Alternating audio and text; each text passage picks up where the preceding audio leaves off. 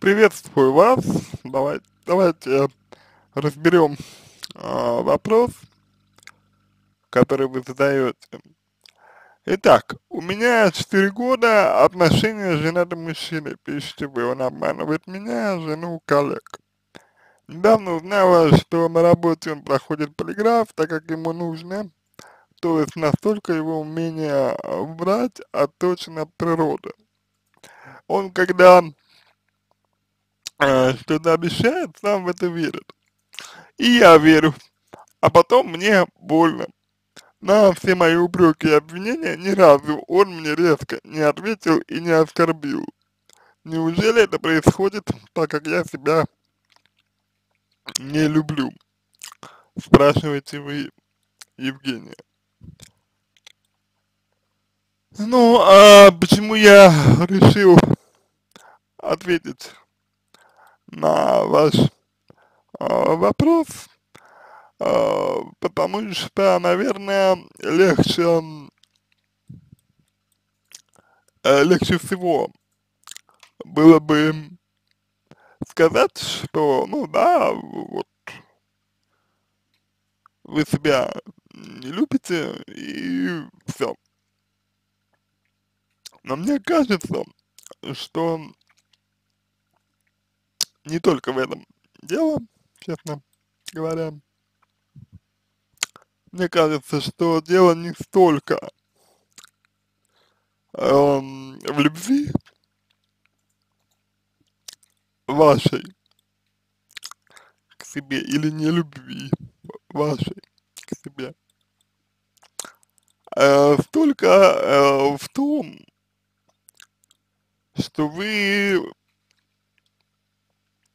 э, верите другому. То есть вы почему-то не доверяете себе, да, не предпочитаете э, прислушиваться к себе, а предпочитаете прислушиваться к другому человеку. И самое, что, на мой взгляд,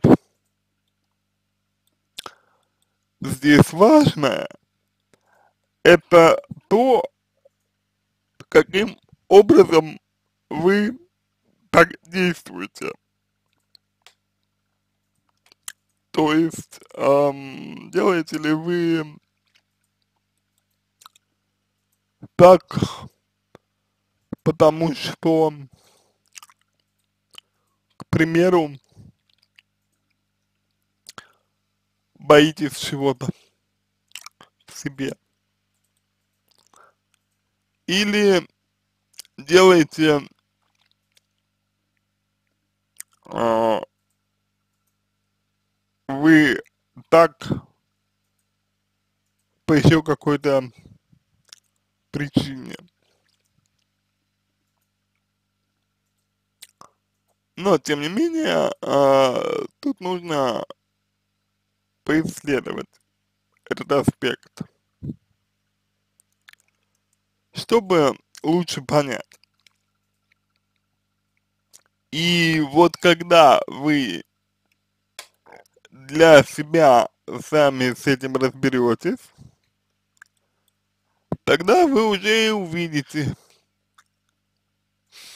основания для нахождения в отношениях с женатым мужчиной. Хочу обратить ваше внимание отдельно на то, что вы пишете, что на мои упреки и обвинения он ни разу не ответил. Вот тоже момент. Да, что мотивирует вас упрекать и обвинять. Как вы к этому приходите?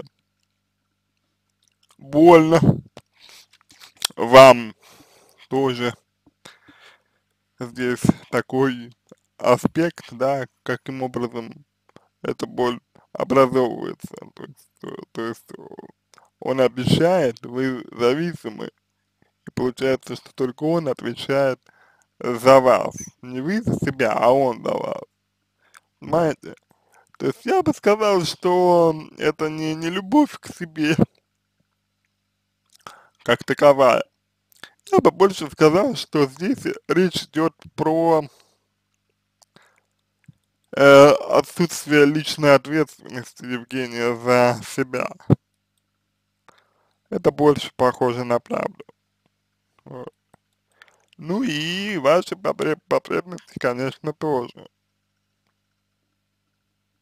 То есть какие, насколько вы отдаете себе отчет в том, что это за потребности, ну и так далее. С этим тоже нужно разбираться.